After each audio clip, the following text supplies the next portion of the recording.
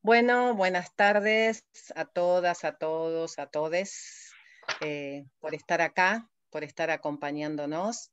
Mi nombre es Patricia Madoni, yo soy profesora de la UNIPE, de la universidad, y coordino un ciclo complementario, una licenciatura para el nivel primario. Eh, junto con quien coordina la formación, el profesorado de nivel de nivel primario en la UNIPE, eh, Silvio Giangreco, hemos pensado en esta semana, en esta semana federal de la universidad, eh, unos distintos instancias de encuentros, paneles, conversatorios, talleres, eh, para, para profundizar con temáticas del nivel, para poder reflexionar y analizar sobre todo cómo va a ser esta nueva, escolarización eh, a través de, distintas instancias bimodales, presenciales, eh, de alternancia. Así que bueno, los, las voy a invitar, les voy a invitar a que puedan acompañarnos también en los otros espacios durante esta semana, eh, que siempre van a ser en el mismo horario, a las 15 horas, así que están todos invitados. Yo agradezco que ustedes estén acá porque entiendo que este es un momento muy particular. En muchas provincias ya iniciaron las clases, eh, en otras están justamente en una etapa de preparación, de planificación, y, sabemos que este año especialmente esto requiere una, dedicación mucho más, este, o, más digamos, como más comprometida, más atenta.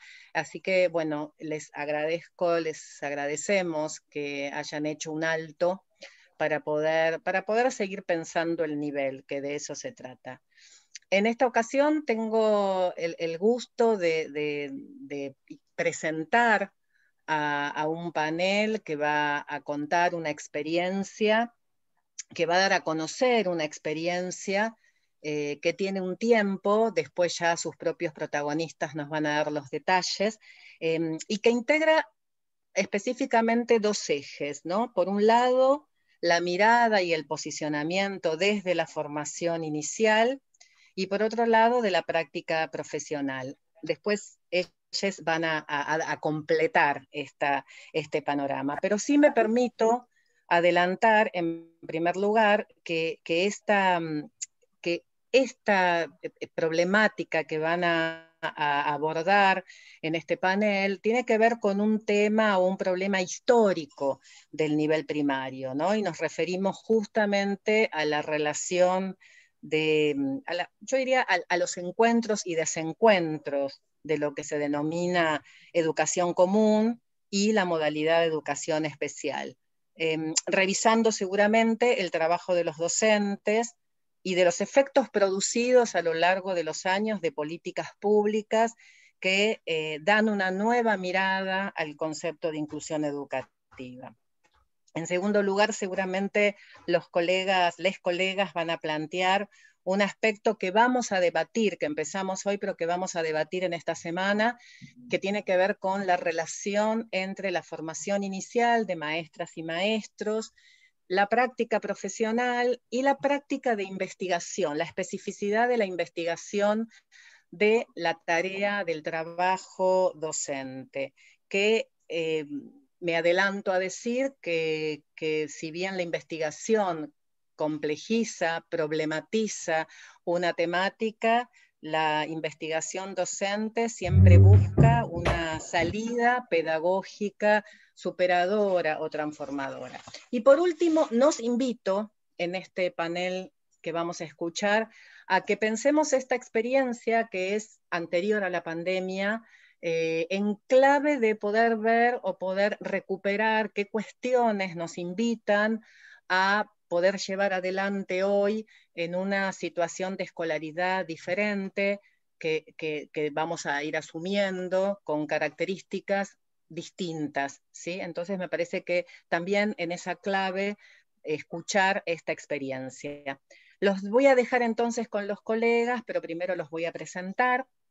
En este caso presento a Silvia Dubrowski.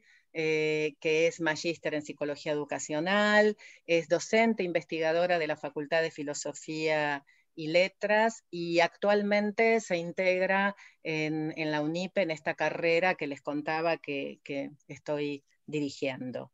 Em, también la tenemos ahí, que entró después a Regina Chivit, a ver, por ahí está, que es maestra de grado, de escuela, pero que actualmente se desempeña en las escuelas secundarias de reingreso de la ciudad de Buenos Aires. Seguramente después ellos van a ampliar un poquito, Silvia va a ampliar un poquito este, la, tarea de cada uno de ellos. Y Hernán Gómez, que es profesor de educación especial y actualmente formador de formadores en Trenquelaunque, ¿no? Bueno, después este, ahí nos, abrirá un poco eh, bien.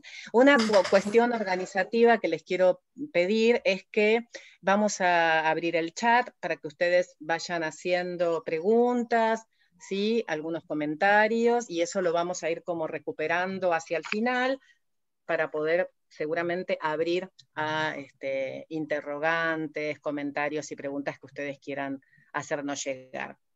Así que bueno, entonces le doy ahí la, posta a Silvia, a Hernán y a Regina. Bueno, muchas gracias Patricia por la convocatoria, por invitarnos a esta oportunidad de volver a contar esta experiencia. Eh, lo que voy a tratar de hacer eh, en primer lugar es eh, enmarcarla un poco, ¿no? Tanto conceptualmente como quizás políticamente, para comprender por qué ¿no? La, esta, este, esta necesidad de construir nuevos modos ¿no? de, de, ejercer las prácticas profesionales a la luz de lo que hoy denominamos políticas inclusivas. Este, y también agradecer la convocatoria a participar de esta licenciatura, de este nuevo eh, desafío de la UNIPE. Así que bueno, gracias por eso. Veo, veo varias caras conocidas, escuchando. Este, así que bueno, yo también nuevamente darles la bienvenida. Y, me parece que el, que el planteo de esta, de esta charla que une tres cuestiones como planteó Patricia, relacionadas con la formación, este, la formación docente, eh, ¿no? el nivel, la formación inicial docente, las prácticas pedagógicas y la investigación. Vamos a tratar de, de, mm, mostrar cómo fue posible con sus este, avatares, con sus obstáculos, pero también con sus grandes desafíos, eh, cómo fue posible diseñar una experiencia que eh, intentaba justamente abordar eh, las prácticas en el contexto de la formación docente inicial. Y como ustedes ven, este, esta experiencia une dos recorridos profesionales y dos recorridos fundamentalmente de formación profesional muy diferentes, que son las del profesor y profesora de educación especial y el profesor profesora de educación primaria en este caso. Bien podría haber sido de, nivel inicial o de nivel secundario. En nuestro caso, por estas cuestiones de que la vida que yo trabajaba en estos dos profesionales, la en estos dos profesorados, digo, la experiencia se realizó eh, en, estos, en el nivel primario, básicamente. Pero bueno, yo les diría, vamos, voy a tratar de enmarcarlo teóricamente, políticamente. Em, el título de esta charla eh, se refería a la, a la inclusión escolar, ¿no? a las condiciones de la inclusión escolar. Eh, lo que les voy a pedir a los que van entrando, si pueden ir cerrando el micrófono, porque eh, a veces es como que hace interferencia con lo que estamos hablando y, así mejor. Ahí veo a Susana que, está con un micrófono abierto, pero no sé si me... Bueno. Bien. Eh, yo quisiera empezar hablando de eh, un modelo del que se habla mucho actualmente, y lo llamo modelo, pero en realidad no sé si es un modelo, que es lo que comúnmente hoy llamamos educación inclusiva. eh, y tratar de conceptualizar ¿no? desde nuestra perspectiva qué es la educación inclusiva para poder entender después cuáles son em, las, la necesidad de transformación de los sistemas escolares, ¿no? para hacer lugar a esto que em, yo creo que ya nadie discute en relación a, este, a que la educación eh, debe ser ¿no? centralmente un espacio de, eh, favorecedor de la inclusión. ¿sí? Eh, y esto que hoy parece quizás eh, como que fuera de suyo, ¿no? hablar, de, hablar de educación es hablar de inclusión, no lo era tan así hace no, no, muchas décadas atrás. Por eso a veces esta insistencia de agregar el adjetivo inclusiva a, a, la palabra educación para poner el énfasis en qué, a qué nos estamos refiriendo cuando hablamos de educación inclusiva. Y cuando nos estamos refiriendo a educación inclusiva, nos estamos refiriendo fundamentalmente a las condiciones que se generan al interior de los sistemas educativos para garantizar el derecho a la educación de todos. ¿sí? Este es el principio fundamental que orienta la educación inclusiva. ¿Y por qué lo planteo de esta manera? Porque em, en, muchas, en muchas lecturas, en muchas exposiciones y en muchos ámbitos académicos, uno a veces advierte que cuando se habla de educación inclusiva, se está hablando de la educación, hoy se está hablando aún hoy, de la educación de los niños, niñas y jóvenes con discapacidad como si la educación inclusiva ¿sí? fuera una interpretación o una evolución, entre comillas, natural de la educación especial. Esto es interesante analizarlo, desanudarlo, reconceptualizarlo, porque desde mi punto de vista, este modo ¿no? que existe muchas veces de entender que la, mm, que la eh, educación inclusiva es la evolución ¿no? natural en el proceso de, digamos, post-convención por los derechos de las personas con discapacidad, es la evolución de la educación especial, nos lleva ¿sí? a desarrollar algunas este, propuestas educativas que, eh, que no necesariamente construyen el modelo de derecho a la educación, ¿no? una eh, política que garantice derechos a la educación del modo que el término inclusión queremos, nosotros queremos darle. Entonces, por un lado, esta primera consideración, ¿no? Para nosotros la educación inclusiva no es, entonces repito, la evolución natural de la educación especial.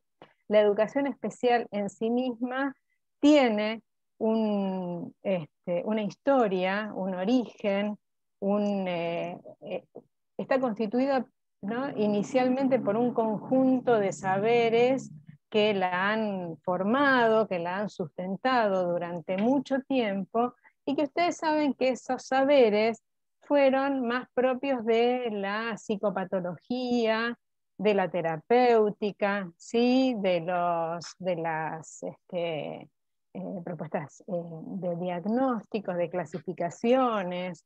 De, entonces, este, este mm, modelo inicial de construcción de la educación especial, que, luego se llamó educación especial, pero quienes están formados dentro de, este, son profesores de educación especial o tienen un recorrido dentro del área de la discapacidad, saben que, bueno, antes se llamó pedagogía terapéutica, ¿no? Este, luego pedagogía diferenciada, eh, luego pasó a ser educación especial, siempre poniendo el énfasis en las características peculiares de los sujetos a los cuales iba destinada esta propuesta educativa. ¿sí? Es decir, que la educación especial tuvo, y diría tiene aún hoy, este modo de entenderse como una mirada em, situada fundamentalmente en el análisis de las condiciones de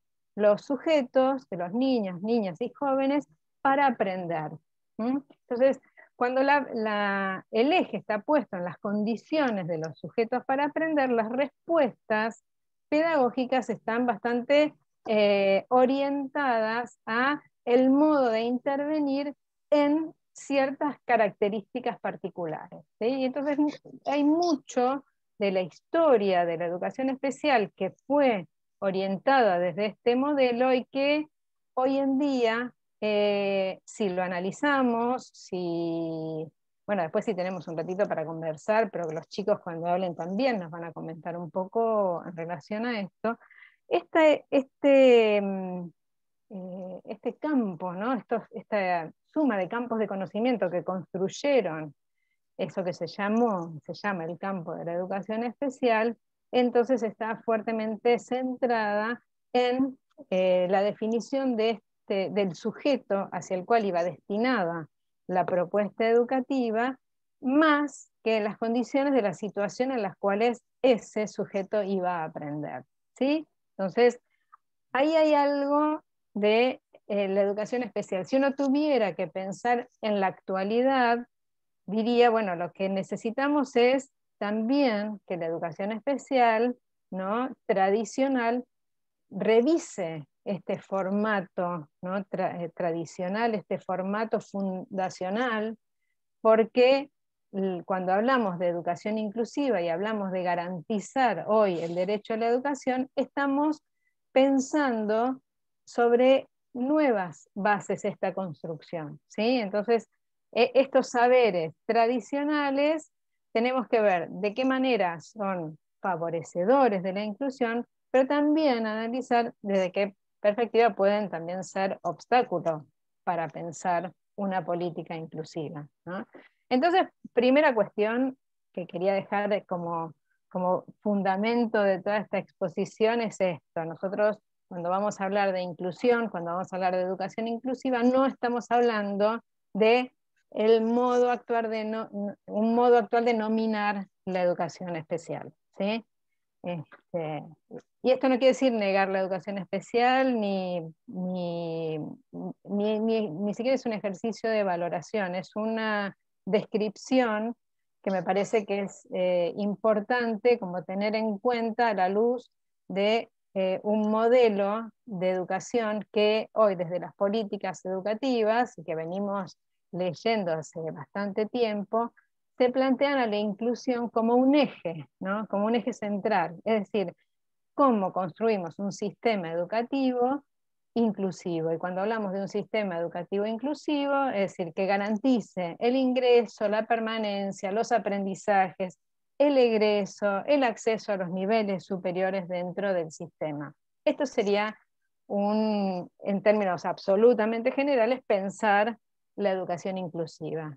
Por lo tanto, los saberes necesarios en términos teóricos y conceptuales para la construcción de este modelo inclusivo son mucho más amplios que estos que acabo de mencionar eh, que provienen de la tradicional educación especial.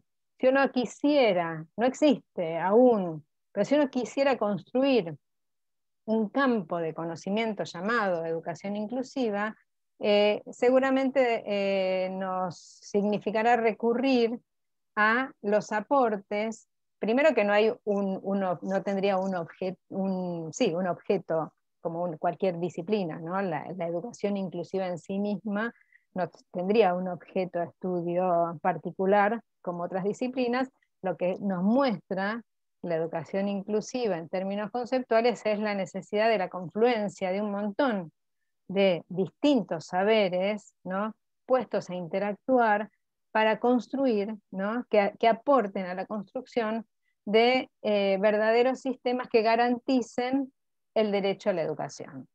Entonces, como cuestión central está, ¿no? Este, el derecho a la educación.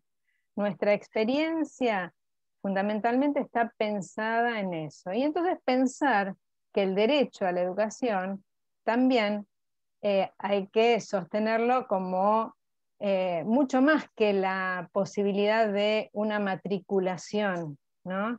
dentro de un aula en particular. El derecho a la educación nos marca que eh, si todos, si todos los niños, niñas tienen este, derecho a la educación es que confiamos en que todos se pueden educarse, ¿no? Obviamente, esto va de suyo.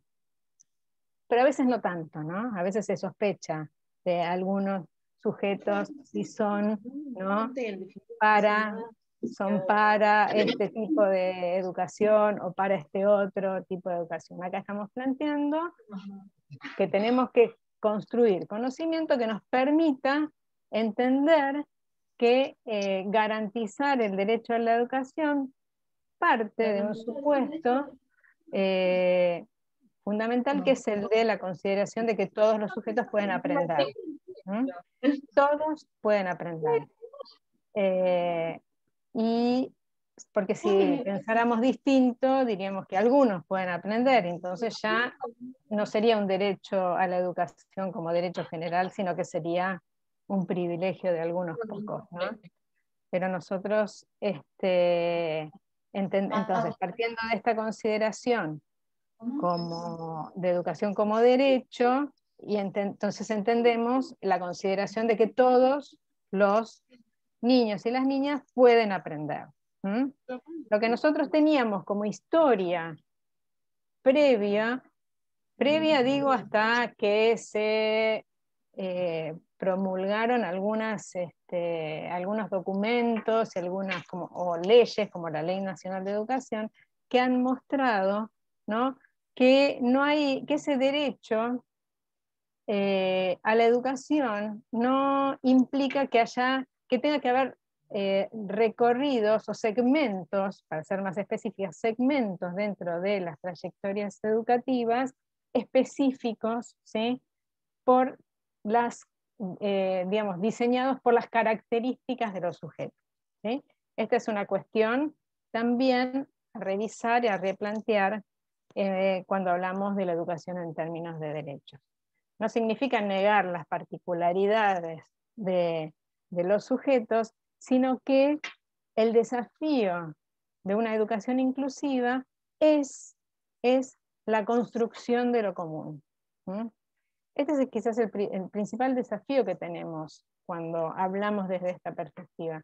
¿Cómo construimos lo común sin, de alguna manera, arrasar con las singularidades, sin este, pensar que hacer lugar a la diversidad es hacer propuestas individualizadas, segmentadas, sino cómo pensar la construcción de lo común. Y en ese sentido, es un gran desafío lo que se produce al interior de los espacios de formación docente, porque las trayectorias formativas tradicionales y que quizás si después tenemos la oportunidad de, interactuar, podríamos ver ¿no? algunos los modos, ¿no? Los modos, los recorridos de formación inicial que puede haber en, cada uno de los lugares donde ustedes se formaron o donde ustedes enseñan. Pero lo cierto es que los recorridos de formación que segmentan el profesor de educación especial del profesor, digamos, de enseñanza común, ¿sí? ya está este, planteando una, eh, una base de conceptualización de los sujetos a educar muy particular. ¿sí? Miren cómo tenemos que, cuando pensamos en la educación inclusiva y, es, y el derecho a la educación, y ese derecho eh, pensado en función de la construcción de lo común, y la construcción de lo común es garantizar la participación sin perder de vista las singularidades, nos implica esta primera parte, ¿no? esta primera parte de lo que estoy hablando, ¿cómo, la, cómo, cómo hacemos? ¿Cómo hacemos para construir lo común ¿sí? cuando eh, uno observa eh, la diversidad que existe en una aula ¿sí? y cuando las políticas inclusivas desarrolladas, inclusive desde los, desde los eh, gobiernos, muchas veces se han implementado en función de respuestas individualizadas, ¿no? Es decir, que hay como una construcción, casi diría tecnológica, tecnocrática de la respuesta de los sistemas de gobierno respecto de eh, la educación de eh, las personas que, requieren ciertas este, atenciones especiales para participar del aula, para participar de, eh, de lo común. ¿sí?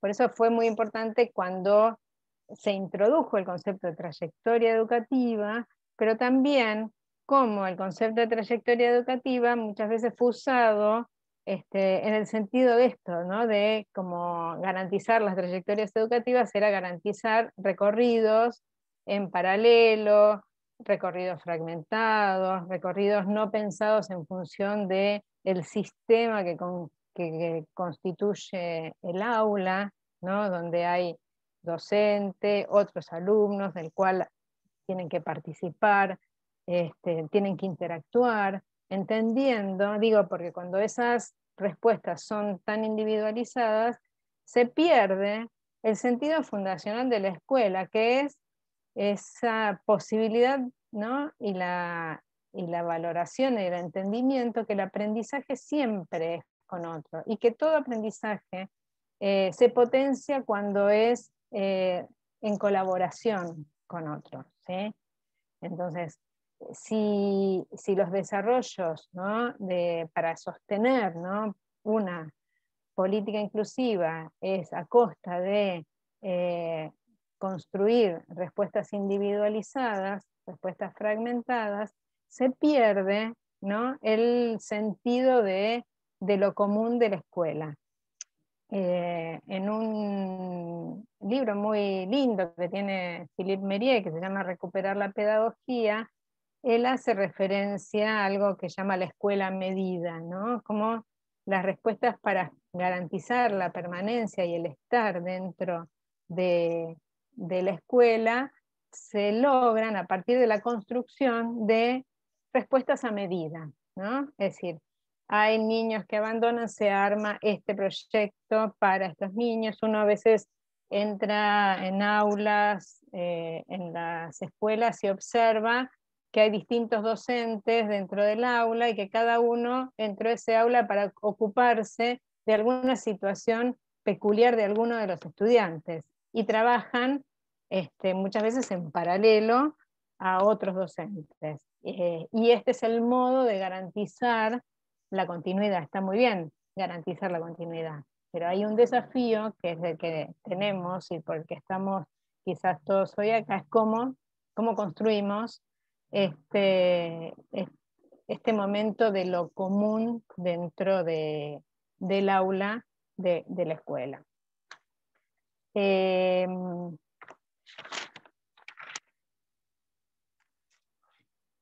y ahí aparece eh, estos, estos formatos. Eh, hoy en día está muy en boga la, el, el concepto, el verbo acompañar, ¿no? Este, acompañar las trayectorias, acompañar a los que han quedado por fuera de las propuestas educativas durante la pandemia, ¿no? acompañar la revinculación. Y el acompañar es un verbo muy, muy interesante para pensar la inclusión, porque el que acompaña ni lleva de adelante ni empuja de atrás, sino que va al lado, ¿no? Va al lado del, otro, no va ni decidiendo lo que tiene que ser, sino que va construyendo modos de ligar con los otros, va construyendo modos de ligar en la participación.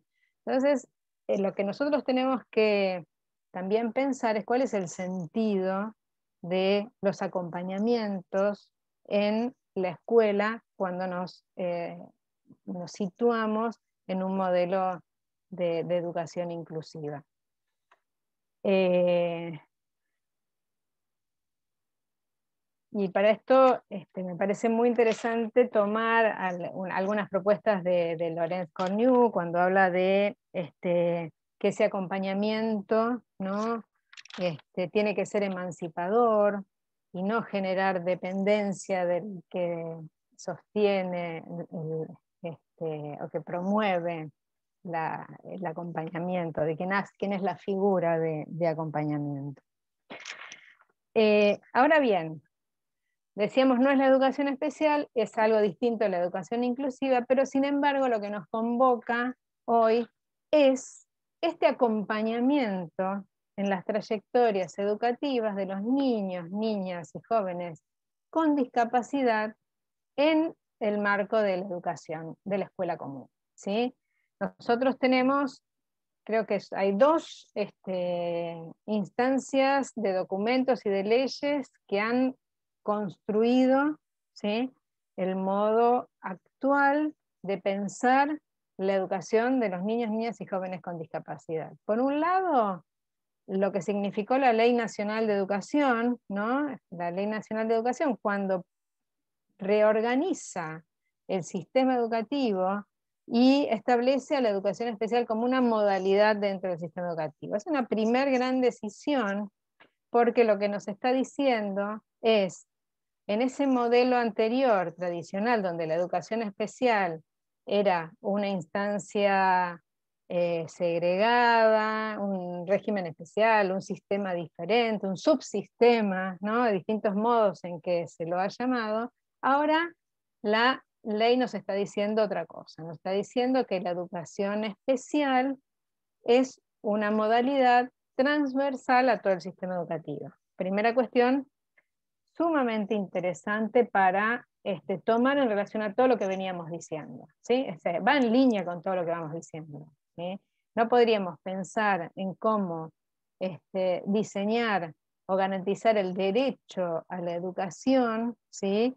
Eh, y, esa participación en el sentido de la construcción de lo común, si no pensamos que hay un, elemento que aporta en, esa línea, que es la ley nacional. Y entenderla como modalidad implica entender que eh, ya un, un alumno o alumna, y en este caso hablamos de alumno o alumna con discapacidad, ya no es alumno de un subsistema, es alumno de un sistema educativo. Y es responsabilidad del sistema educativo construir, ¿no? garantizar ese derecho a la educación. Y por otro lado, este, y, eh, el, otro documento central en relación a la educación de las personas con discapacidad es eh, la Convención Internacional por los Derechos de las Personas con Discapacidad.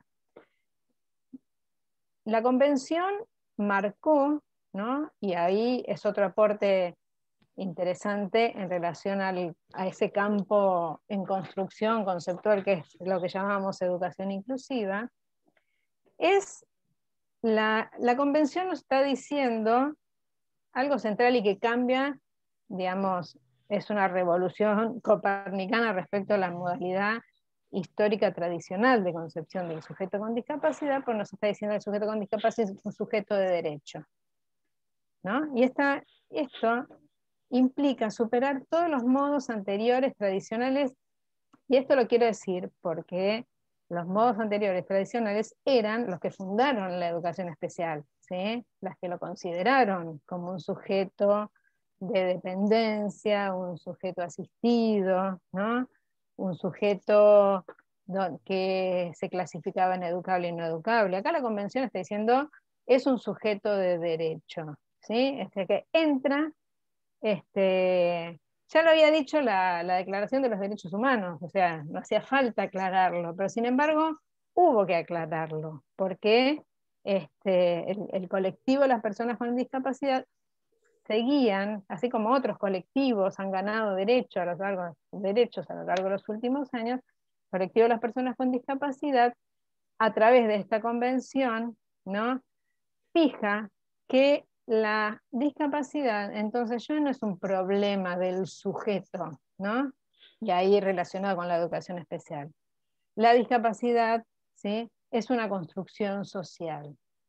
Y entonces las sociedades serán, construirán más o menos discapacidad en los sujetos de acuerdo a las respuestas que construyan este, para favorecer la participación.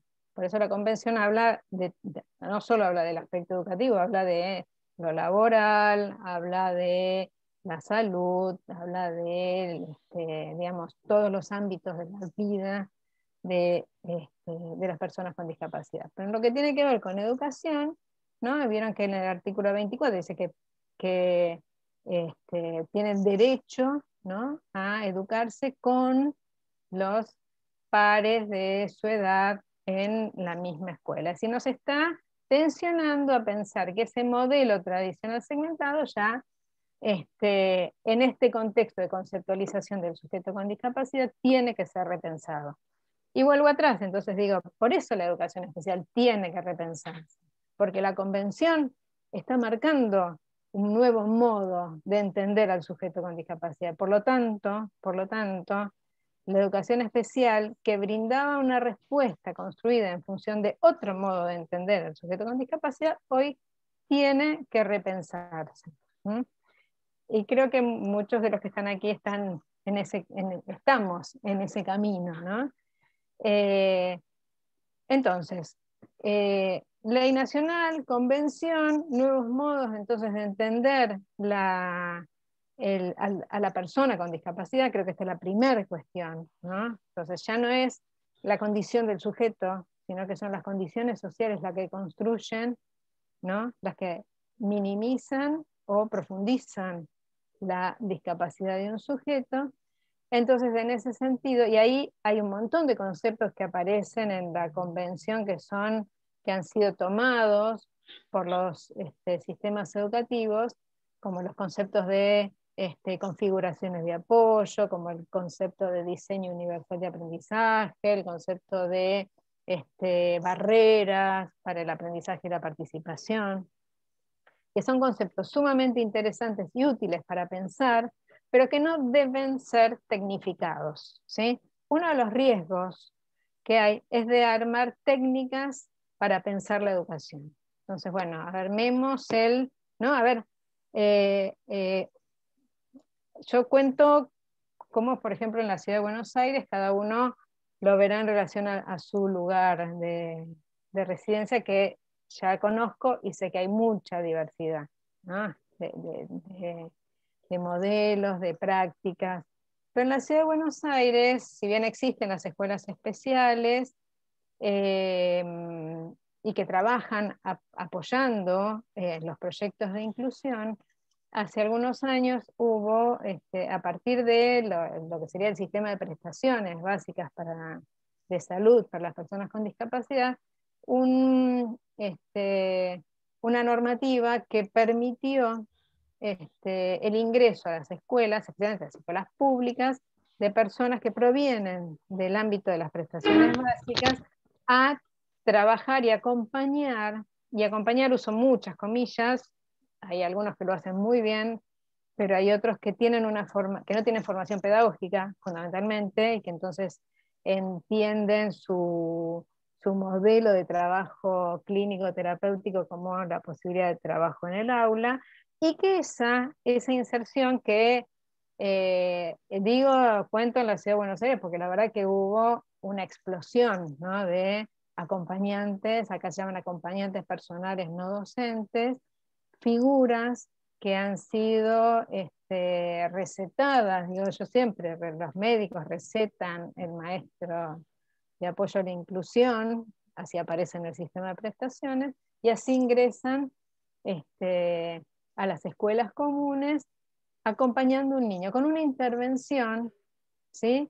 Con una intervención muchas veces segmentada que profundiza más el aislamiento que la participación. Riesgos a tratar de solucionar. Eh, entonces, esta situación hizo que en las aulas hubiera muchas personas eh, muchos adultos a veces acompañando, ¿no? que puede haber un aula donde puede haber 15 chicos, podría haber, porque si bien hay la normativa, tampoco se cumplía demasiado, podía llegar a haber cinco acompañantes. Así que había, este, y, en, escuelas de, baja matrícula podía haber tantos adultos como niños dentro de un aula. ¿no?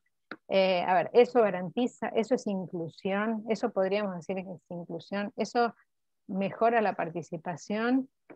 No necesariamente. podría ser una gran oportunidad, pero no necesariamente eh, solía pasar esto, sino que muchas veces todo lo contrario. Entonces acá aparece el, el problema que fue el eje en la construcción del proyecto de investigación. Eh, por un lado, eh, en lo personal, yo era docente, digo era porque me jubilé, eh, docente del profesorado de educación especial en una materia sobre la investigación, en un taller de investigación, y era profesora del profesora de educación primaria del Normal 3 en la sede de Lugano, en la ciudad de Buenos Aires, donde dictaba eh, la materia de sujeto de la educación primaria y este, trabajo de campo. Y no sé si me estoy olvidando algo más, pero bueno, alguna. Bueno, eh, es decir, que yo trabajaba en los dos profesorados, ¿sí? Y, en el trayecto de formación en investigación, uno de los temas que más frecuentemente salía ¿no? en, en, los grupos de estudiantes respecto a aquellas, este, uno, cuando uno trabaja en investigación y investigación en la formación docente, lo que se busca fundamentalmente es generar condiciones para la problematización, es decir, problematizar aquellas este, cuestiones em, que digamos, que, que, a ellos les generan preguntas a lo largo de su formación, en el momento que empiezan las prácticas, en el momento que empieza a contrastarse todo el recorrido teórico que hicieron y llegan al aula. Eh, y en esas problematizaciones eh, siempre aparecía la pregunta por los proyectos de inclusión. Siempre aparecía esa pregunta como una... y que claramente mostraba una deuda que había en la formación docente del maestro de educación especial en relación a las prácticas de inclusión en la escuela común. Es decir, lo que uno veía, por lo menos en esta experiencia, esto es lo que sucede en la ciudad de Buenos Aires, es que el profesor de educación especial se forma, se formaba, ahora me jubilé, no lo sé si, si esto se modificó, se formaba exclusivamente haciendo prácticas en escuela especial y después se recibía y una de sus principales este, posibilidades laborales era en como maestro de apoyo a la inclusión. Es decir, que había una distancia entre la formación y la práctica. Es decir, que ahí, ahí apareció una pregunta que nosotros transformamos en una pregunta de investigación y que tratamos de, em, de desarrollarlo en conjunto con los mismos actores que eh, llevan adelante las prácticas y la, práctica pedagógica. Porque esto sí es algo que caracteriza a una educación inclusiva y a una investigación que se considera inclusiva, en el sentido de una investigación en educación que se realiza para favorecer, para construir más derecho a la educación y que esa investigación tiene necesariamente que ser colaborativa, participativa, ¿sí? No es la investigación que investiga a los sujetos que están enseñando, sino que es una investigación con los sujetos que, están, que se están formando, que, están, este, que, van a, que van a desarrollar sus prácticas en ese ámbito. Es decir, que em, partimos de esa consideración básica que tiene que ver con el, modo de entender la investigación. ¿no? Una investigación necesariamente participativa y colaborativa.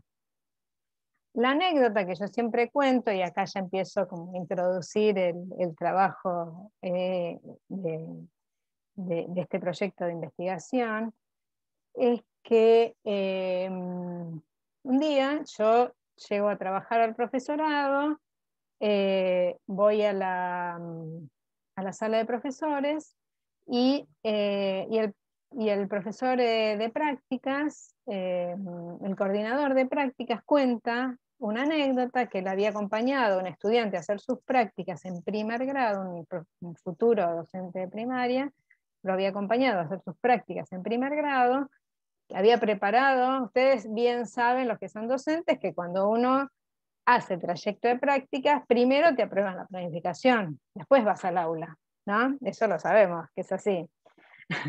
Bueno, la planificación la tenía aprobada, o sea que ahora lo que tenía que hacer era poner en práctica su planificación. Ahora, cuando va a poner en práctica su planificación, entra al aula y había cuatro adultos, el docente del grado y otros tres adultos eh, que, estaba, que nadie les había dicho, ni siquiera le habían advertido a él, el estudiante, que imagínense con los nervios que uno llega a dar sus primeras clases con un profesor observándote, con el docente en la observándote, con los chicos si van o no se van a enganchar con la propuesta que llevas, con todos esos nervios y aparte tres adultos que él no sabía quién era, no sabía si lo, estaban para observarlo a él, no sabía para qué era. Y entonces cuando llega y este, dice, bueno, que le iba a contar un, cuento, eh, que los chicos se sienten, los tres adultos, él ve que se empiezan a mirar entre sí, dicen, hacen el gesto como, no, se levantan, agarran un niño de la mano cada uno y se van. ¿No? Entonces cuando vuelve este profesor y cuenta esta escena, esta escena que quedó eh, completamente, los, los, dos quedaron completamente descolocados frente a esto, dice esto no puede ser, este, cómo se, digamos, cómo, eh, cómo trabajar así, de qué manera, a quién le enseñamos y a quienes no le enseñamos. Hay algunos chicos que son destinatarios de mi práctica y hay otros que evidentemente no, no lo serían. Eh, y entonces ahí estaba como la, trayendo esta angustia de este futuro docente frente a esta situación. Y esto por un lado. Y por otro lado, esta escena que contaba yo en mis propias clases, donde los estudiantes decían, nosotros nos vamos a recibir, vamos a ser profesores de educación especial, y sin embargo, nunca entramos a una escuela común. Y sin embargo, nosotros lo más probable es que trabajemos como maestros de apoyo a la inclusión en una escuela común. Entonces hay algo de la formación que sigue sosteniendo la lógica tradicional, ¿sí? pre ley nacional, pre-convención de, este, de dos subsistemas. Dos subsistemas, digo, pensados desde la formación, porque en la realidad, en la coyuntura de la práctica en las aulas, se tienen que encontrar, se tienen que juntar, pero no saben cómo hacerlo. No saben porque nunca tuvieron la oportunidad de pensar con el otro el aula. ¿sí? De un modo, ¿sí? de un modo, y ahí está la, propuesta eh, conceptual, cómo pensar el trabajo en el aula de un modo que no sea el modo tradicional del trabajo sectorizado del profesor de educación especial que, que trabaja como apoyo a la inclusión, sino desde el lado de una perspectiva de trabajo colaborativa, donde los adultos que comparten la cotidianidad del aula también compartan el diseño de las propuestas de trabajo. Eh, y de este modo, esta transversalidad de, la que habla la ley sea este, más real, posible de pensarla, y no sea como que la transversalidad es, ay, tengo un chico con problemas, te llamo a vos que sos la de educación especial, a ver qué me mandás para que solucionar el problema, ¿no? Este, este, era muy típico en otras épocas, cuando yo estuve en el área de educación especial, que se dijera, eh, la gente de educación especial eran recursos. ¿Me mandás un recurso? Me acuerdo que yo recibía, ¿me mandas un recurso? Un recurso era alguien que evidentemente se a cargo de alguien que ellos sospecharían si era su alumno o no, ¿no? Es decir, la construcción de ese alumno, ese alumno que necesita apoyos específicos por parte de los saberes de, de la educación especial, ¿sí? que necesita, así como la educación agrega el adjetivo inclusivo para hacer entender que estamos hablando de o reafirmar el derecho a la educación, en el caso del alumno se agrega el adjetivo integrado, incluido, ¿sí? dando a entender esa sospecha respecto de si es un alumno legítimo del aula, ¿sí? si es un alumno que tiene este, las condiciones para participar de la propuesta del aula o si es un alumno que requiere de, eh, para poder estar en el aula, de la presencia de otro adulto. Y entonces ahí también hay una cuestión que es que el aula inclusiva, ¿no? eso que se llama aula inclusiva, eh, que habría que ver bien qué es, es un aula que se define porque en ese aula uno ve que hay otros adultos. ¿Sí? ah, mira, este es, un aula de inclusión, sí, porque vos ves que hay más de un adulto. Entonces, seguramente es un aula de inclusión. Lo que no se, lo que no se termina de, de, instalar y como de hacerse carne en la vida de, ese aula es, bueno, quiénes, este, de qué manera se está en ese aula, de qué manera se construye participación en ese aula. Bueno, viendo estas dos este, situaciones de los dos profesorados, em, y en ese momento yo tenía a cargo el departamento de investigación del profesorado de educación especial, la propuesta que hice eh, es la de diseñar un proyecto de investigación, eh, algunos lo llaman estos modelos de investigación participativa, algunos investigación-acción, pero lo cierto era diseñar un proyecto de investigación donde se trabajara en acuerdo y colaborativamente con los estudiantes del profesorado de especial y de los estudiantes del profesorado de primaria en el diseño de un proyecto de trabajo colaborativo en el aula. Es decir, que pudiéramos pensar que no era un aula de escuela común donde hay chicos integrados, sino que era un aula, donde todos son alumnos y donde todos tienen, este, están allí para aprender y donde hay docentes que trabajan ¿sí? con la convicción de que cada uno de sus alumnos puede aprender. Si puede aprender lo mismo, si todos van a aprender lo mismo al mismo tiempo, bueno, ya esa convicción ya sabemos que no hacen a una escuela eh, nunca le hizo la escuela, algunas veces se supuso que era así, pero hoy bien sabemos que no, pero poder hacer lugar a eso también es un proceso de construcción, ¿no? Y que esa construcción nos parecía que solo era posible si se realizaba en, en la práctica misma. Entonces trabajamos, trabajé en primer lugar, este, en primer lugar con los profesores los coordinadores de prácticas de los dos profesorados. Eh, y en esos, en esos, esa práctica, esos coordinadores de práctica ya, fue interesante el diálogo que hubo entre ellos, porque decían, no, mis alumnos ya vienen con la planificación, no van. O sea, ¿cómo hacemos para pensar la planificación juntos si se forman en dos lugares tan separados, si trabajan este, digamos, planificando de manera distinta? ¿Cómo van a hacer para trabajar juntos? Hasta que se pudieron, se pudieron hay, hay un micrófono que, no sé, hay algún micrófono prendido que no sé quién es que está interfiriendo.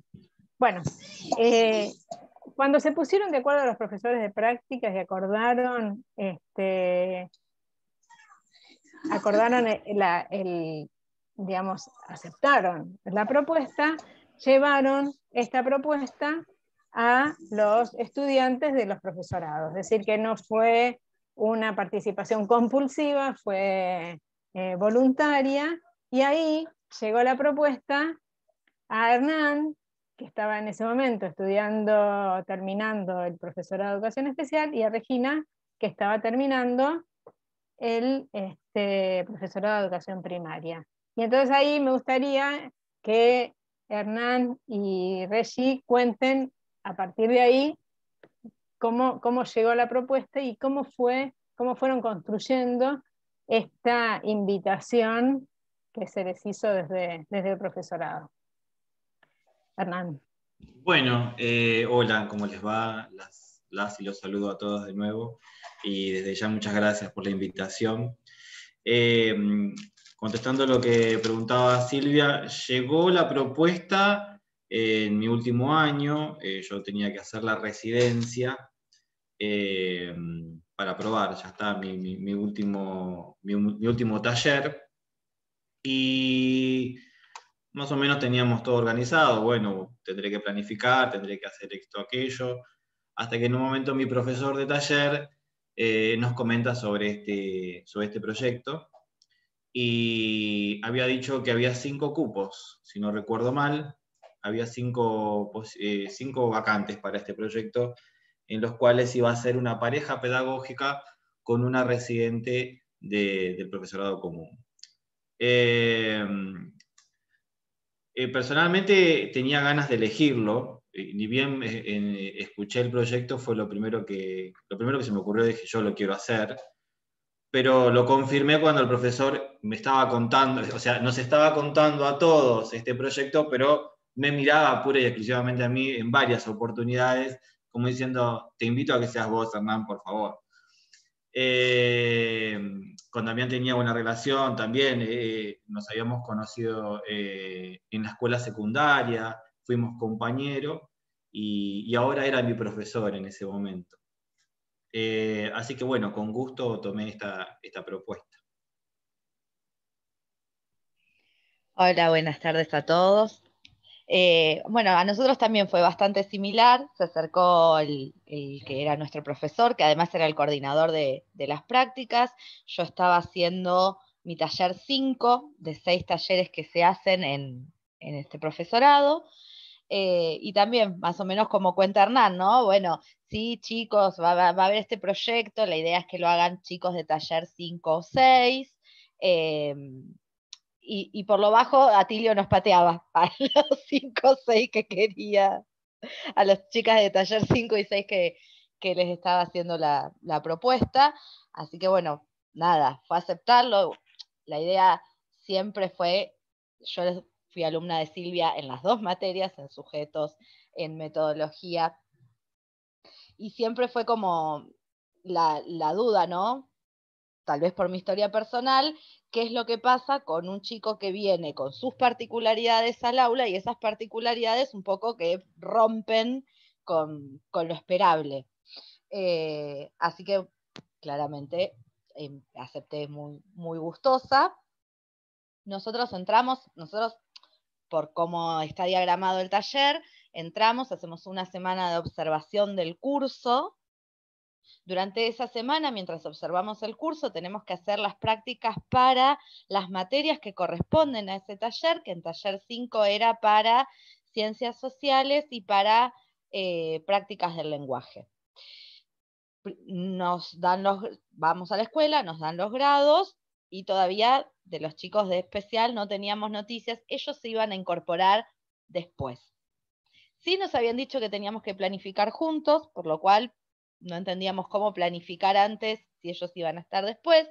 Pero bueno, nada, arrancamos con la rutina, ¿no? De ir, observar, planificar, que es lo que veníamos haciendo de los talleres anteriores,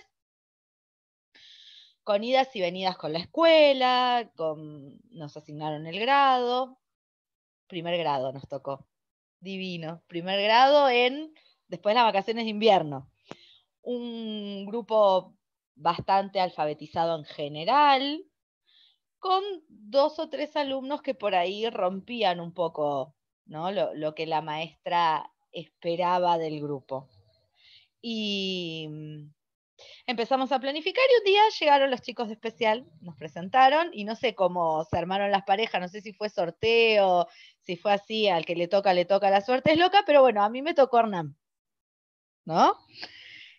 Y yo le toqué a él y cada uno con cómo iba a conocer al otro o cómo iba a trabajar con un otro que no conocía y que además sabíamos que nuestras formaciones eran distintas, eso lo teníamos muy claro desde el principio, pero hasta que no estuvimos en la práctica no supimos cuán distintas eran nuestras formaciones. Ahí se empezaron. Perdón, Reggie, las formaciones y las miradas y, las maneras de actuar y el miedo que teníamos en ese momento, porque bueno, también estábamos en una instancia de alumno, de que queríamos aprobar, Así que se había hecho una ensalada con todo eso. Claro, por, por ejemplo, ¿no? Con esto de las miradas, yo siempre cuento que lo primero que me impactó es que Hernán entró con total naturalidad al aula y no sé, tenían que sacar el cuaderno. Y él abrió la mochila de uno de los chicos, le sacó el cuaderno y lo yo no, no podés tocar las cosas del estudiante, ¿cómo le vas a sacar? Claro, y él desde su formación y desde la mirada que le dio su formación, para él era lo más natural del mundo. Para mí era un horror, yo lo miraba como, ¿a quién me pusieron este pibe? Le está revisando la mochila al estudiante. Sí, yo eh, en principio aclarar, ¿no? Un, profe de educación especial tiene un aula de que no supera los 6, 7 alumnos, en el mejor de los casos. Por ahí hay excepciones en donde hay 10 alumnos, en donde los apoyos este, son un poco, este, se pueden compartir los apoyos pero nuestras aulas eh, en escuela especial no superan los siete alumnos y encima tenemos asistentes, tenemos gente que nos está acompañando en el trabajo, algún que otro preceptor o preceptora. Y obviamente la mayoría de nuestros alumnos, nosotros eh, les tenemos que brindar apoyos.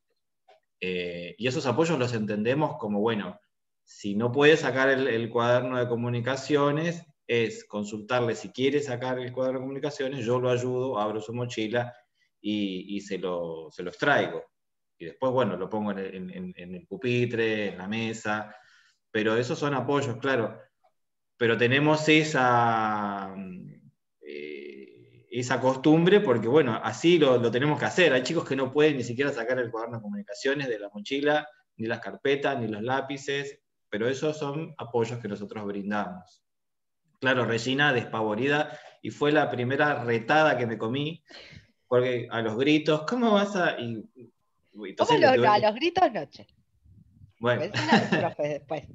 Eh, bueno, entonces, perdón, perdón que interrumpa. Ahí, digamos, las primeras cuestiones, ¿no? Cada uno llegó a ese, a ese encuentro con su historia, ¿no? Con su historia, digo, un poco, lo que cuenta Hernán de la mochila es un poco el modo del tratamiento al niño o niña con discapacidad. No sé si le, siempre le preguntan si puede sacar de la mochila. Muchas veces se dice, seguramente no, se sobre, digamos, entienden o prejuzgan de que no lo va a poder hacer y lo hacen. ¿sí? Entonces hay algo de ese modelo que aparece en, eh, en, lo cotidiano, ¿no? Es decir, como un supuesto respecto del sujeto que, que, es ese, ¿no? Que no va a poder, que si yo no lo ayudo no, no lo va a sacar. Y, y, hay un supuesto del respeto, del cuidado del otro, ¿no? Por, por, por, otros motivos en relación a los niños y niñas de la escuela primaria. ¿no? Es como que hay un modelo de colonización del sujeto tan especial, de la educación especial históricamente, que es muy distinto del de eh, la escuela primaria. Entonces ahí el, primer eh, encuentro de lógicas de trabajo distintas, ¿no? de tradiciones. Ni, ni, Hernán entiende que lo que él estaba haciendo podía ser juzgado como, este, como un hecho éticamente incorrecto, como lo, como lo evaluaba Regina, y, y, Regina y desde Hernán pensar que este, cómo los dejan así solos que resuelvan. ¿no? Este, bueno, la cuestión es, están en el aula, se produce ese encuentro y, y ahí eh, cuenten el, el, enseñar, el, el, tomar decisiones. No, después, bueno, nos empezamos a juntar en sala de profes. Yo ya tenía la planificación armada de prácticas del lenguaje, porque nos habían pedido que planifiquemos en proyecto siempre eh, tratando de encontrar eh, dentro de ese proyecto la lógica que nos permitiera que todos los estudiantes pudieran hacer el, mismo trabajo.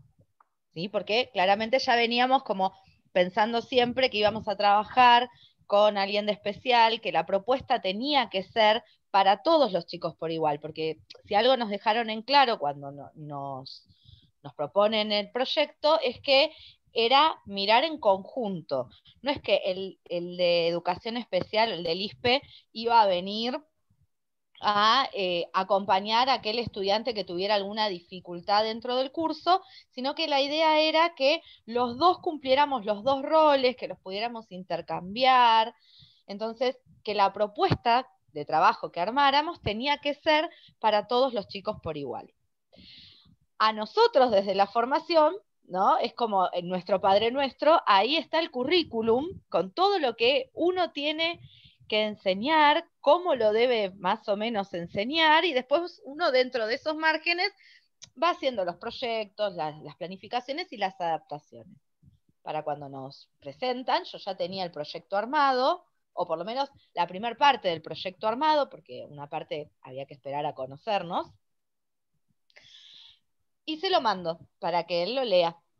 Y ahí tuvimos otro, ahí ya fue como el choque de, de las formaciones más grande, porque para mí era el currículum, él era otro el eje que le miraba a la planificación. Yo miraba que estuvieran los contenidos, las maneras, Y él me hizo una devolución muy linda igual. Sí, eh, entiendo, eh, esa, primera vez que vi tu trabajo, eh, le había dicho, para mí está bárbara tu planificación, creo que era eso lo que querías que comente Reggie. Eh, al principio, lo primero que vi en la lectura, dije, esto está bárbaro, es una planificación perfecta, me encanta. Eh, sí entendía que, bueno, que Reggie eh, avanzaba conforme lo que decía, ¿no? el diseño curricular y lo tenía bien presente en, en, su planificación. Pero bueno, después fue, después cuando estuvimos en el aula y hubo que poner en práctica eso que estaba escrito, ahí nos empezamos a encontrar con otras realidades. En principio empezamos a conocer un poco más el grupo, era un primer grado. Como les dije, las aulas de un, profesor de educación especial o de un, docente de especial eh, son de 5 o 6 alumnos. Este era un aula de 25 alumnos, entonces eh, yo tenía que expandir la mirada porque para mí era un montón. Yo eh, entré y dije, no me escucho hablar, no me estoy escuchando hablar, estoy hablando y no me escucho porque esto es un criterio. Y había un lío importante. Eh, al llevarse a cabo la primera clase eh, que Reggie había planificado para lengua, este, una vez que terminamos, que, que Reggie terminó de dar esa clase, me senté al lado de ella y le dije, Reggie, lo que yo te dije de que tu planificación estaba bárbara, me parece que no, me parece que hay que cambiar algo, hay que modificar algo, hay que pensar, hay que empezar a pensar eh, la llegada a los alumnos. Digo, se están quedando un montón afuera, tu planificación es linda, lo que tenés para proponer es hermoso, porque aparte era, eh, era crear una historia, un cuento de monstruos, y, y era una idea maravillosa. Pero habían algunos alumnos que se estaban quedando afuera. Y en principio nos pareció interesante poder, poder reflexionar sobre aquello que ya estaba escrito, eh, reorganizar eso que ya estaba escrito. Y cuando hablamos de reorganizar, también nos dimos cuenta que había que reorganizar el grupo, que era un grupo que había, eh, tenía subgrupos ya muy armados. Cuando empezamos a tener contacto con la maestra eh, de este primer grado, nos habíamos empezado a dar cuenta de que la maestra lo fue, eh, quizás consciente o inconscientemente, eh, sin cuestionarla, lo fue agrupando de manera de que, bueno, acá están los que más rápido resuelven las tareas, allá están los más, los más bochincheros, allá los que no van ni para atrás ni para adelante. Incluso este era un léxico que ella utilizaba también. incluso tenía alumnos en los cuales con los cuales tenía vínculo y alumnos con los cuales no tenía vínculo y te lo informaba. Te decía, con fulanito de tal y con fulanita, yo no tengo vínculo, no, ella no, no, no, me deja tener vínculo con ella. Eh, una de las cosas que también nos pasó fue encontrarnos con un aula que era muy chiquita, en donde costaba mucho circular. Eh, uno circulaba saltando las mochilas esquivando, mochila, pibe, se levantó uno, guarda, eh, todo el tiempo, y, dentro de eso lo que nos pasó, y éramos dos, era que se nos perdía algo, había cosas que, no podíamos mirar, Eh, entonces, bueno, nada, había que sentarse y pensar estrategias. Una de las primeras estrategias fue decir, bueno, che, la escuela no tiene solamente un aula, busquemos cómo podemos eh, hacerlo. Entonces, una actividad que estaba pensada para hacer en el aula, en el pizarrón, bueno, llevamos afiche y la hicimos en la sala de música.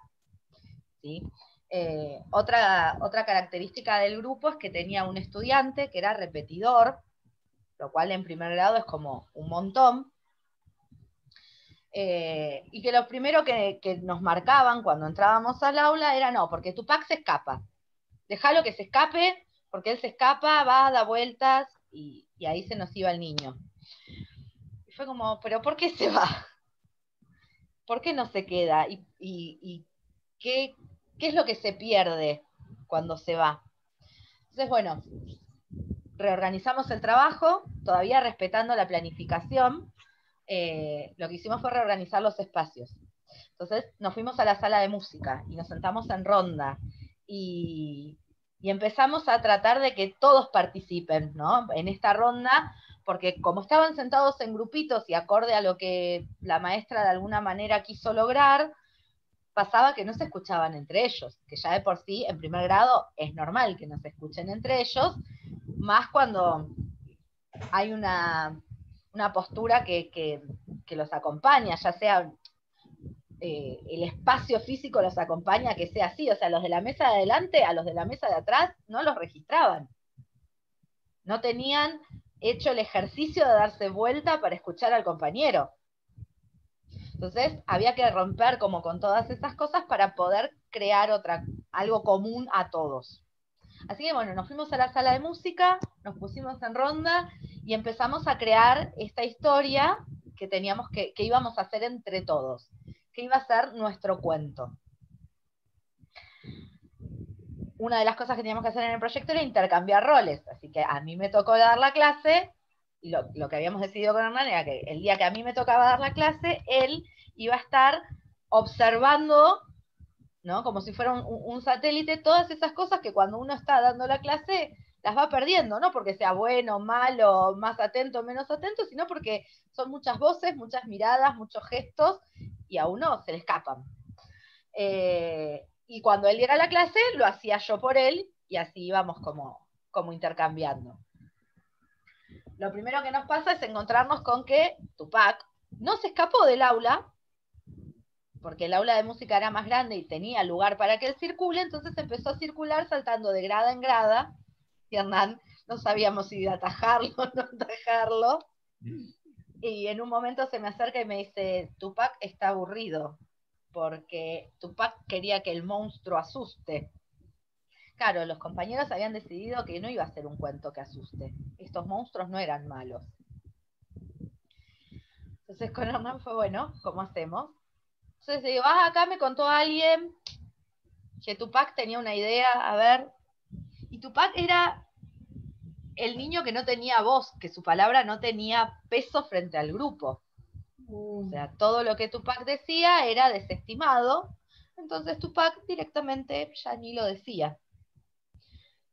Y Tupac se, se atrevió a hablar porque yo lo pinché de un lado, Hernán lo pinchó del otro, y ahí, bueno, fue diciendo que él quería que los monstruos asusten. Entonces empezamos todos a jugar totalmente por fuera de la planificación a cómo es un monstruo que asuste. Y le empezamos a poner el cuerpo a estos monstruos, y le empezamos a hacer gestos, y empezamos a jugar entre todos, y a escucharnos entre todos. Teníamos otro estudiante que tampoco era de hablar ni de participar mucho.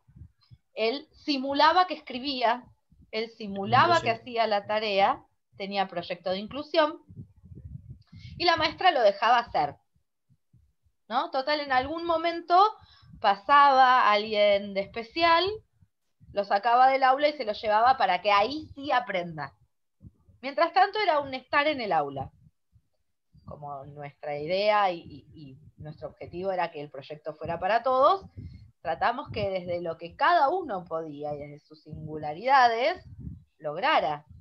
Y este estudiante que hacía que escribía y que hacía que hacía la tarea, desde la oralidad podía un montón, desde acompañar a los compañeros a que expresen sus ideas podía un montón. Y nos dimos cuenta en este juego. Hernán. Sí, eh, Tupac entonces había en ese momento propuesto que, los, los, monstruos se asustaran, todos los, compañeros empezaron a escucharlo a Tupac y Tupac, eh, bueno, hoy, hoy nos damos cuenta, ¿no? Que Tupac ahí empezó a, tener un poco más de confianza en sí mismo, algo que, estaba necesitando un montón.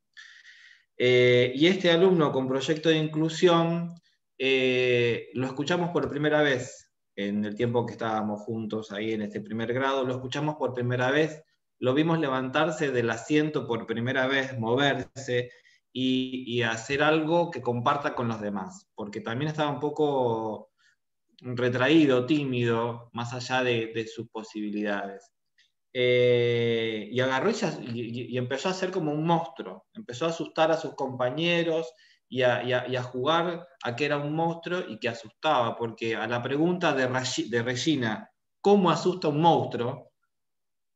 Nada, tomó una revolución esa planificación, se, reorganizó sola. Hagan de cuenta que todo lo que estaba escrito se revolucionó y se, reordenó. Y, y, los chicos empezaron a formar parte del proyecto, creo que a partir de ahí. Creo que todo el grupo empezó a formar parte de este juego que nos llevaba a, que, nos mostraba este proceso de enseñanza y aprendizaje que siempre tratamos de, lograr en el aula. Eh, y jugando aprendíamos, aprendíamos cómo, cómo, cómo, asustan los monstruos y lo fuimos escribiendo. Y, el cuento que había propuesto escribir, o sea, la actividad que había propuesto Reggie para escribir un, cuento colectivamente, recién ahí fue un trabajo colectivo. Eh, y bueno, nada, ahí salimos felices de esa, de esa clase.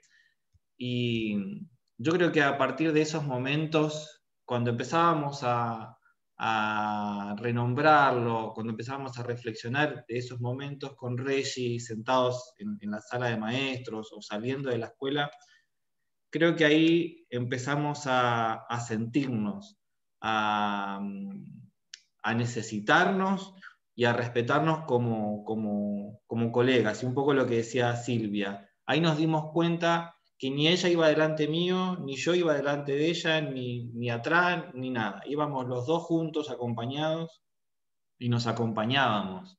Eh, primero, pensando en, los chicos de primer grado, pero también pensando en, nuestra trayectoria como estudiantes, en nuestro futuro como docentes. Había mucho en juego en ese momento y no nos dábamos cuenta ahora que lo estoy mencionando. Eh, y bueno, lo disfrutamos un montón, por suerte. Eh, entendimos ahí cómo planificar en pareja pedagógica y a partir de ahí empezamos a pensar todas las clases teniendo en cuenta estas, estas Em, herramientas y estrategias que empezamos a, encontrar y de las cuales disfrutábamos un montón. ¿eh? cuando, cuando empezábamos a ver que algo se empezaba a movilizar en el aula, lo disfrutábamos un montón, alimentaba nuestra vocación. Em, entonces, bueno, esto del satélite que decía Reggie, lo empezamos a usar y, a mí, por ejemplo, em, digo entrenó, por ahí no es la palabra correcta, pero a mí me entrenaba un montón eso. Me entrenaba un montón que poder estar eh, atrás del aula y, acompañarlos con la mirada, para poder ayudarlos quizás a modo de apoyo también, ¿por qué no? A que la profe, che, mirá que acá tienen algo para decir. Trata de que levanten la mano acá los del fondo, porque los del fondo que a veces no estaban, no eran oídos, abajo de todo, escondidos en el bullicio, tenían opiniones, tenían opiniones respecto de lo que estaba pasando allá adelante en el pizarrón. Pero bueno, nunca llegaba adelante, nunca llegaba adelante porque eran los del fondo, y nada más. Así que bueno, ahí descubrimos esta, esta buena estrategia del trabajo colaborativo, colectivo, en pareja pedagógica. Y ahí también empezaron como las, otras trabas, ¿no? Eh, Silvia en, otro momento, en, una charla con nosotros, nos dijo que, para romper cosas que ya estaban estructuradas había que ser rebelde. Eh, y a nosotros nos tocó eh, ir con la planificación ya aprobada y todo y decir, la quiero cambiar porque no me sirve. Y que desde la formación nos dijera, no, pero ya está aprobada, ya está bien, eh, ¿para qué lo vas a, a borrar? y porque no me sirve para el grupo, porque no estoy llegando, porque hay estas dificultades, porque quiero modificar esto. Hubo profesores que lo entendieron y que acompañaron ese crecimiento, porque para nosotros fue un crecimiento a la hora de, planificar y de poner en práctica lo que estábamos haciendo, de, que no sea un pasar por la escuela como pasar a un trámite, sino el, estar haciendo algo de verdad. Y hubo profesores que no nos acompañaron, eh, fue el caso de, una planificación que me termina aprobando, porque si no, no me podían aprobar el taller, me termina aprobando el coordinador de prácticas, porque la profesora me decía que eh, era muy básico y que esperaba que yo me luciera más y quisiera más cosas. Y lo que mi profe en ese momento no entendía era que a mí no me interesaba lucirme yo como estudiante y que la maestra del grado me ponga estrellitas por la clase que di yo lo que quería era que los chicos lo disfrutaran y aprendieran algo. Ese era el objetivo. Eh, bueno, y quizás, gracias chicos, como siempre, como siempre. Pero quisiera como para cerrar agregar algo más, que más allá de, a ver, y por otro lado decir que la experiencia de Hernán y de Regina fue muy buena, como la contaron, pero que no todas fueron así, que esto eh, no es algo que sale naturalmente, que es un proceso de construcción, de llegar a acuerdos con el otro, de, en, una, en, una, pareja hay que ceder, hay que, digamos, escuchar y, tratar de construir con el otro, y que esto no, no a, a algunas otras parejas les costó un montón. Pero también decir que esta experiencia que hicimos, aún las que, como la de los chicos, que, fue tan significativa y transformadora para ellos, y las otras que quizás no lo fueron tanto, también fueron posibles porque se hicieron en el marco de una institución escolar con una directora que se comprometió, se comprometió con el proyecto, que sin saber muy bien qué era lo que le estábamos diciendo, estaba este, sumamente atenta a que esto era necesario y que, digamos, inclusive organizó, se acuerdan, una jornada institucional para, para, que, para hablar de, del proyecto y que todo el equipo docente escuchara y que también hace a, este, a que una experiencia pueda tener sentido y sea transformadora cuando se encuentra en un espacio que la, que la aloja, que le hace lugar, que la permite, ¿sí? y que entonces, eh, digamos, hace que cobre mayor sentido para, para los que hacen la experiencia, para los otros docentes. Hay, ah, hubo maestras de otros grados que dijeron que una maestra que ya se estaba casi por jubilar, ¿se acuerdan? Que dijo, yo pensé que ya no tenía más nada que aprender y con esta experiencia me di cuenta que todavía este, hay cosas por, aprender en, en, la práctica educativa. Así que me parece que esto también, ¿no? Pensarlo en que, no es, eh, nunca es cuestión de solo de sujetos y voluntades, sino que también es necesario este, contextos que favorecedores, que ayuden, que posibiliten, que armen diálogo, y creo que esto es lo que fue también que coronó un poco este, la experiencia que, presentaron los chicos y que claramente muestra que es una deuda de, la formación docente hoy en día, que si bien hay espacios em, curriculares vinculados a, este, inclusión este, en, las aulas, eh, pero vemos todavía que siguen algunas resistencias en relación a, insertarlo en, las prácticas docentes y en construir prácticas con otros dentro del aula. Así que bueno, nada, muchas gracias por habernos escuchado. y gracias Reggie y Hernán, como siempre. Placer. Gracias, igualmente. Bueno.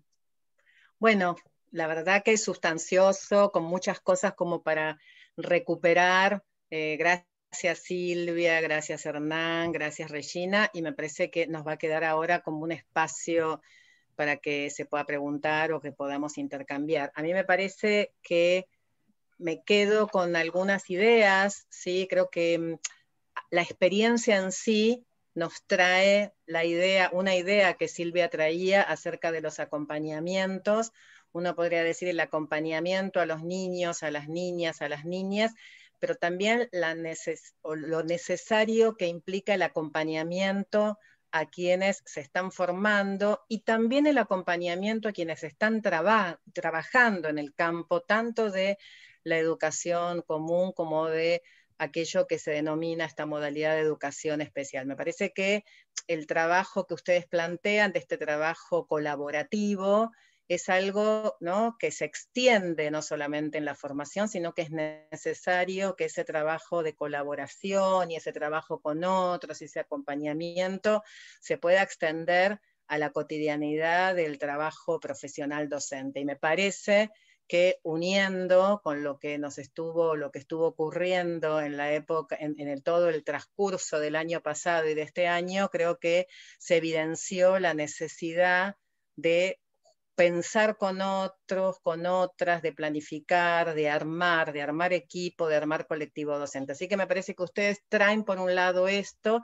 esto, esto necesaria, necesaria acción conjunta en un tema de alta complejidad, así como lo, describió Silvia, una, con una historia, con legados, con mandatos que hay que desestructurar y que, que hay que poder como destrabar, con más razón necesita ese trabajo conjunto. Y una cuestión que creo que está bueno para que ahora abramos a las preguntas, algo que también trae Silvia en la primera parte, que esta experiencia que ustedes cuentan también lo evidencia, de poder pensar una nueva forma de, de, pensar la educación especial en función de las normativas, de las leyes. Me parece que esto que ella trae al comienzo de cómo volver a replantear en la categoría de inclusión, no dejarla solamente ligada a aquellos niñas y niños particularmente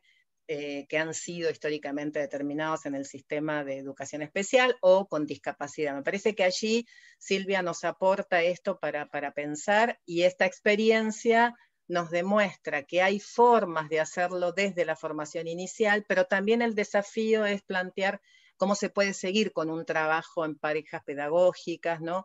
con un trabajo que realmente apueste a una, a una cuestión eh, pedagógica educativa. Y yo me quiero, lo quiero terminar con algo para que ustedes abran a, esta advertencia que nos hace Silvia también, ¿no? de pensar que no se ligue a cuestiones tecnicistas, ¿no? que para tal cuestión aparezca bueno, o un programa o, ¿no? o, una determinada acción que convierta o anule, en todo caso, la voz de los sujetos. Así que me parece que el panel nos abrió un montón de cosas. Yo tengo todavía cuestiones que anoté y que pensé, pero quiero dejar este, bueno, el lugar para las preguntas. Yo acá registré una, eh, si quieren ustedes sigan escribiendo, pero acá una colega se me perdió, pero decía algo así como si esta experiencia, si ustedes pudieron registrar, escribir lo que iba sucediendo, ¿sí? En, el transcurso. Dale, dale, Mariano, ¿estás ahí? Qué bien, léela, léela. A mí se me, perdió. La... Nunca me fui. No, acá de Adriana Suárez son dos partes, muy buena experiencia, una consulta. Estas experiencias las escribían en qué, en qué momento y si tenían un formato para registrar lo que sucedía en el aula y lo que le sucedían a las parejas pedagógicas. Esa es la primera parte para Hernán y Regina. Y la segunda también de Adriana dice, si pudieron hacer, espera que se me escapó, si pudieron hacer o pensar esta experiencia en otras modalidades como la educación domiciliaria y hospitalaria, teniendo en cuenta el trabajar la inclusión educativa desde distintos espacios. Son varias consultas, Adriana, para Regina y Hernán.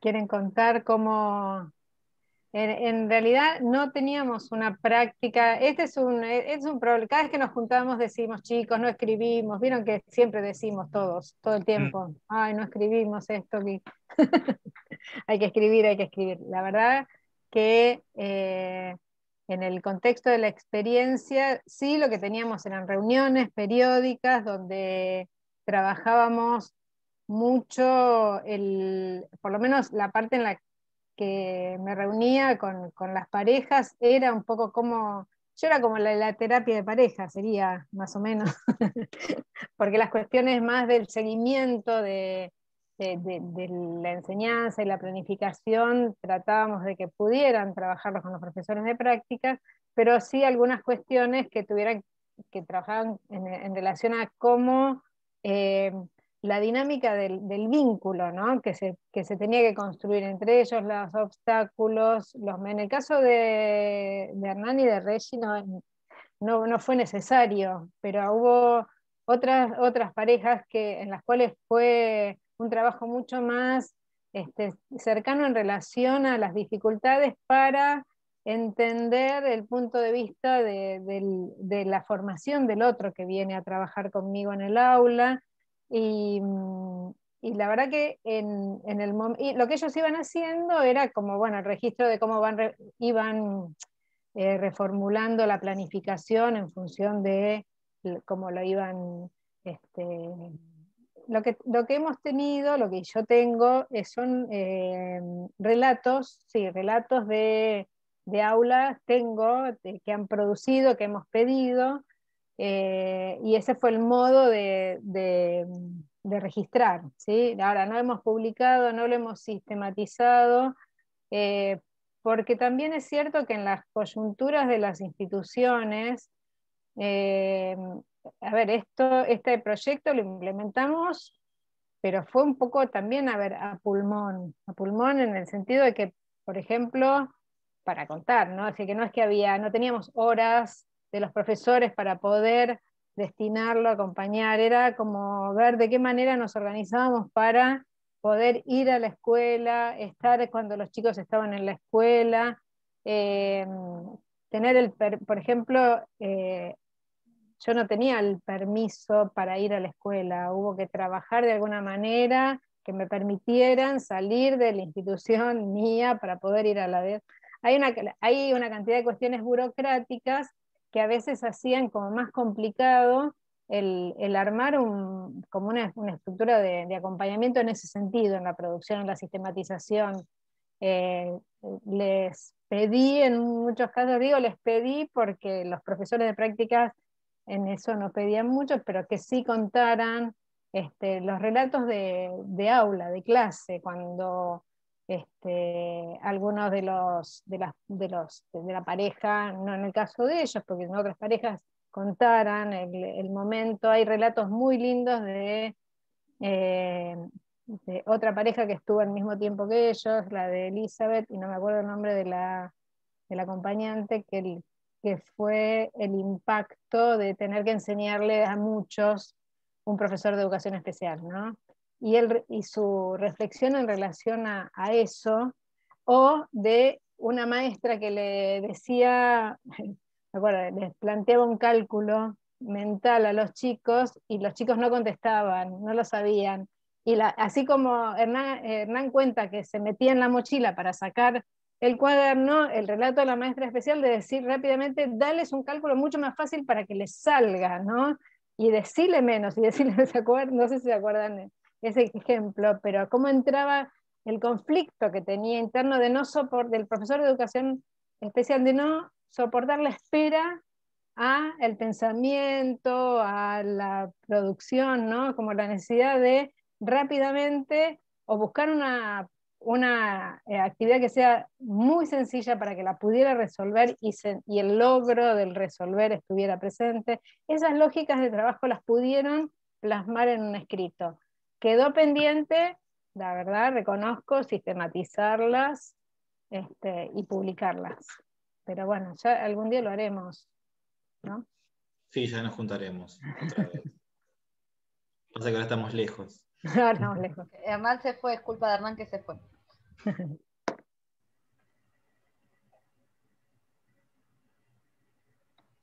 No sé si había alguna otra no, pregunta, no hay comentarios. Felicitar a Nadia y a Regina por la manera y la naturalidad con que pudieron relatar su experiencia. Qué bueno lo que cuentan, eso muestra la riqueza de estas experiencias compartidas en la formación docente. Sí, por ahí una cuestión Ah, por ahí una cuestión interesante de que uno podría pensar, ¿no? Que esto no quede como en experiencias puntuales, sino ¿no? cómo, cómo pensar una política también de formación docente que pueda ¿no? recuperar estas experiencias o que pueda tener un trabajo desde el inicio colaborativo y conjunto, donde nosotros pensamos el nivel es un nivel que tiene modalidades, pero no tenemos que pensarlo fragmentadamente, sino de una manera integral. Entonces, tal vez esta experiencia, el, reclamo que hacen algunos de que la escriban, de que la puedan socializar, que creo que es importante, para que no quede en una experiencia puntual de un, ¿no? de un profesorado, sino que pueda ir como de alguna manera convirtiéndose en algo más extensivo y que pueda dar, dar de algunos elementos o algunos insumos para la política pública. Me parece que de esto se trata porque en esta experiencia se ve claramente esto que Silvia traía al principio, ¿no? Cómo empezar a desestructurar y a desnaturalizar algunas tradiciones que, que dejan por fuera algo que a mí me quedó sonando del cuento que ustedes planificaron, queda por fuera a ese sujeto de derecho que es el sujeto de niña, niña, niña con discapacidad. Yo pensaba en este cuento que ustedes eligen del monstruo, digo, ¿no? Muchas veces esto monstruoso de uno mismo, de encontrarse con un otro, con una otra que tiene otros tiempos, otras posibilidades, otros, ¿no? Eh, o que requiere otros espacios. Entonces, yo decía que mm, cuando escuchaba recién lo que ustedes decían, cómo a uno le cuesta y enseguida quiere resolverle el tema al otro o a la otra, ¿no? Esto es, ¿no? Como conectarse con algo que, con un desconocimiento a veces también que uno tiene. Así que me parece que lo que les van contando apunta a eso, a que no se quede en esta experiencia, que la difundan para que pueda ser un buen insumo para que se replanteen algunas cuestiones de la política de formación docente, ¿no? Acá alguien dice, ¿no? La pareja pedagógica sería un camino más enriquecedor para la educación inclusiva. Yo creo que para toda educación, ¿no? Me parece, no sé, que la educación en su conjunto, ¿no? Esta idea de trabajar con otra, con otro. Pero los dejo ahí ustedes a ver qué les parece este comentario.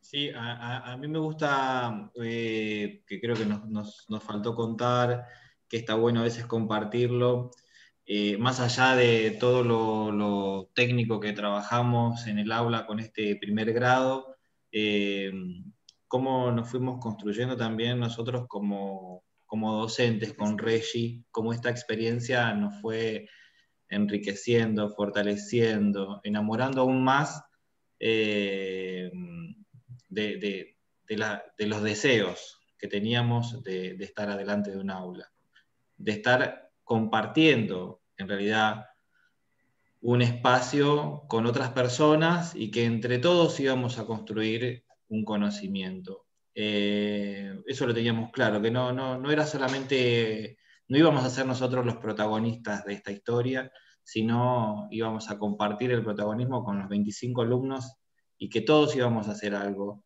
eh, en pos de este, de este fortalecimiento para todos.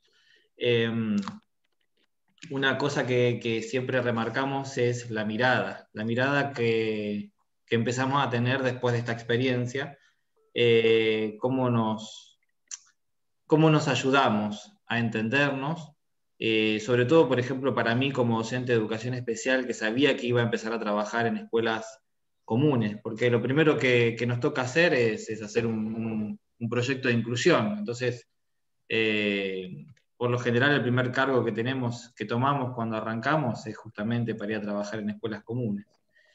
Y eh, poder compartir las miradas desde lo mm, por ahí estructurado, no sé si está bien decirlo, por ahí es, mucho, desde lo estructurado que me traía Regina a poder entender que si se, si se duerme un alumno en el aula, eh, tiene una realidad, tiene una realidad y que la escuela que la escuela no puede ser ajena a esa realidad, el aula no puede ser ajena a esa realidad, sus compañeros y sus docentes no pueden ser ajenos a esa realidad.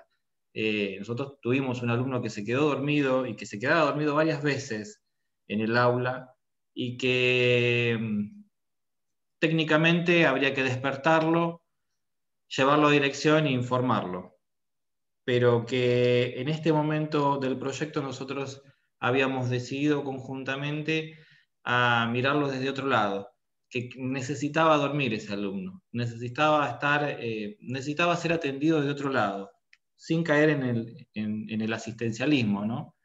Necesitaba hospitalidad y fue algo que, un concepto que empezamos a compartir con Reggie eh, porque lo requería, porque, porque ese momento en que se quedó dormido eh, en una colchoneta debajo del pizarrón, eh, ese intruso, esa situación intrusa que sucedía en un aula que no es, no es lo esperado, debía ser atendida y creo que la mejor manera que nosotros encontramos para atender esa situación era con esa mirada, la mirada de la hospitalidad no una hospitalidad que asista, insisto, desde el asistencialismo, eh, eh, sino una mirada que, como dijo eh, Silvia, que acompañe. Eso.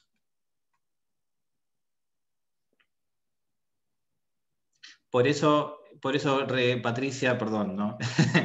por eso Patricia, y, arranco y después no termino más, chicos. la educación. A mí me gusta decir que es la educación, la educación toda, no la educación inclusiva. Eh, quizás sea momento. Quizás, quizás nos ayudó yo a, mis alumnas del, profesorado, digo alumnas porque son todas alumnas. Eh, les digo, la educación especial fue caminando eh, de concepto en concepto, iba saltando, hoy, hoy nos servía este concepto y después había que reconstruirse. Y así pasamos de la integración a la inclusión. Y quizás este es el momento de empezar a pensar en un nuevo concepto. No sé cuál yo todavía, pero quizás eh, corrernos un poco de la idea de inclusión y pensar que la educación es la educación para todos, sin, sin pensar que tiene que ser o no inclusiva. En ese sentido, nada, por ahí muchas veces durante la formación tenemos sujetos ideales, ¿no? Y uno entra con muchos ideales en la cabeza a formarse como docente y cuando vas al aula la realidad es otra. Y hoy la realidad es que es más la diversidad y las singularidades que tienen los estudiantes que lo homogéneo que puedan llegar a ser.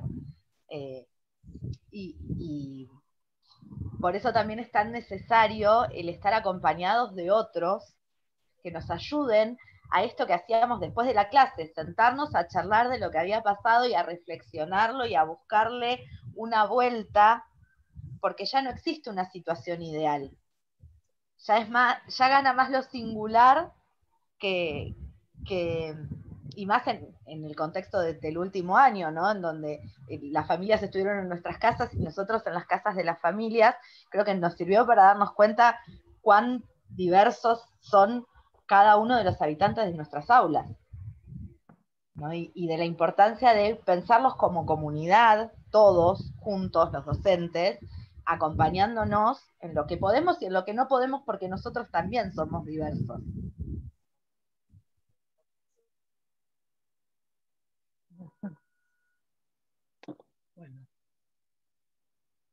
Sí, acá estoy.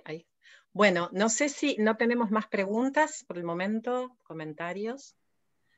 Eh, bueno, creo que también es cierto que nos han, nada, cuando, cuando hay una experiencia tan potente, cuando hay eh, también, digamos, una, una fundamentación de la experiencia, porque la experiencia estuvo fundamentada y eso creo que es lo importante, digamos, ahí hay muchas cuestiones para que nos sigamos pensando. Yo creo que en esto que trae Hernán al final, ¿no? Y esto también que dice Regina, de esta idea de comunidad, de que tenemos que pensarnos, pensar eh, la educación más colectivamente, creo que acá se trabajó con, esta problemática histórica de esta relación, pero si lo ponemos en el contexto actual, insisto con esto, este, más que nunca hoy es necesario pareja pedagógica, pensar en colectivos docentes, cómo afrontamos esta nueva escolaridad. Y entonces creo que hoy se estuvo jugando en todo este panel, esta conversación, estas cuestiones, ¿no? Y creo que esto último que también trae Hernán, que también lo planteó Silvia, ¿no? No podemos hablar de lo inclusivo estrictamente pensado en una población, sino que la educación tiene que ser igualitaria, inclusiva, emancipatoria digamos, para todo el nivel, en este caso, porque estamos hablando del nivel primario. Así que, bueno, yo creo que les agradezco profundamente porque nos dan muchas pistas y muchos lugares para poder pensar, para seguir eh, debatiendo creo que eh, comparto con, las colegas y los colegas que dicen que hay que escribir esto, ¿no? Vuelvo a insistir, creo que hay que darlo a conocer. Sé que ustedes estuvieron ya difundiendo, pero me parece que esto nos, nos sirve como para seguir construyendo conocimientos, sobre todo desde ¿no? las propias prácticas que ustedes llevaron adelante. Así que bueno, no sé si alguno quiere otro comentario. Yo cerraría, si no hay, si no hay preguntas, Mariano, si estás por ahí. No, no. Estamos bueno, estamos en hora y bueno, nada, agradecer y invitarlas, invitarlos, invitarles y que difundan también que mañana continuamos toda esta semana, mañana con otro tema que tiene que ver con la gestión y cómo generar prácticas de inclusión en este concepto amplio desde la mirada de la gestión, desde las gestiones de las instituciones educativas del nivel primario. Así que bueno, los, las invito a que participen en esta semana de debate, reflexión y también de este, ponernos en acción. Bueno, gracias.